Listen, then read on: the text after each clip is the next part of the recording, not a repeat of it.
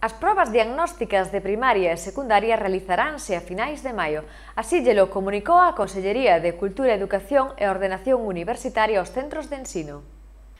As avaliacións de sexto de educación primaria e cuarto da ESO terán lugar os días 23 e 24 de maio, mentres que a proba diagnóstica de terceiro de primaria celebrarase o 30 e 31 de maio.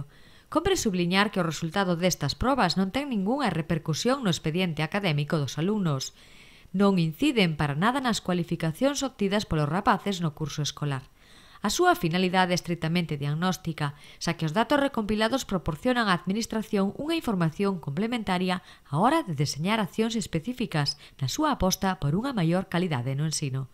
Unha das principais novidades é que este curso é o primeiro no que se vai aplicar a avaliación de secundaria para os alumnos que están cursando cuarto da ESO.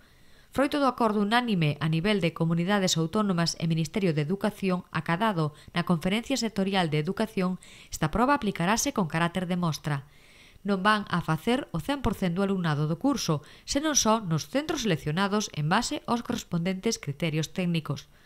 Compre lembrar que, atendendo á demanda feita dende Galicia polo departamento que dirixe Román Rodríguez, esta avaliación terá carácter exclusivamente diagnóstico.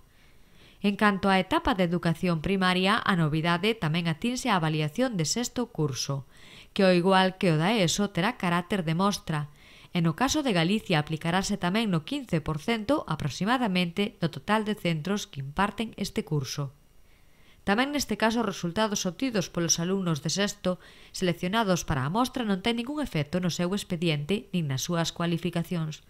No que respecta á proba de terceiro de primaria que terá lugar o 30 e 31 de maio, quedan nos mesmos termos que se ven realizando nos últimos dous cursos, coa avaliación de competencia en comunicación lingüística e a competencia matemática.